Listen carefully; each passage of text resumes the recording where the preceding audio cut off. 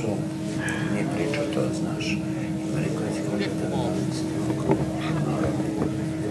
Ali ona kao Benji kaže, stvari, čovjek malo ja, kad je to rekao, kaže, mamo mi, malo sam niko napraviš, bio da je ribu, a ja s njim ne razgovaram, međutim. I onda on kao, ti što me nameštaš, ja ovo, ja ono, ja ništa. I on kao, alo, ja ništa. I on ovako za ruku, znaš, ono, kaže, mrž bre, u.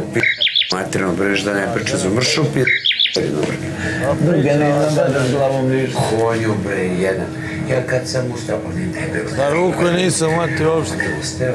I kao ja sam rekla, ovaj misli da će spavat celu noć. A ja to uopšte ne bi rekla jer ga ne konstatujem. Ozbiljno ide na...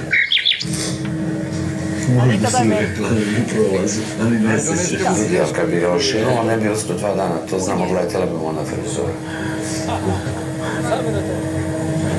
I onda za svoju dušu, ti ne razgovaraš sam, ti, kaže meni Marinković, ja sam tebi rekao, imat ćeš ti problema, da kao kad ga odje... A još predno dve, tri nedelje kad sam ga ovdje i onda jedan kaže, pa nakon spolemišeš, kaže, on imamo pravo, svi da mislimo da ješ mu prostor, puštaj me. Kaže, ne možeš Dvije neistine sam rekla što ima. Zaista ne bi ga udaje prostor. Dvije neistine. Šta je valja zem sa čupavim idiotom?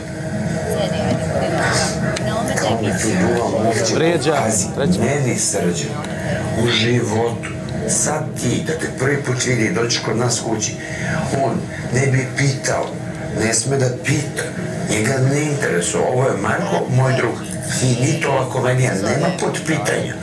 Sad sam Unjom i Terezom ovde da je, on uopšte to ne bi registrovao. Ja sam svoje povjerenje brezi radila pre 25 godina. Ti ćeš meni kao munja Terza bebicu mriti mamu. Vidi, ja ne bi shvatila da imam nekog frajera da on kenja. Veruj mi, možda svaki dan mi ga prilikom suručaka. E, Samire,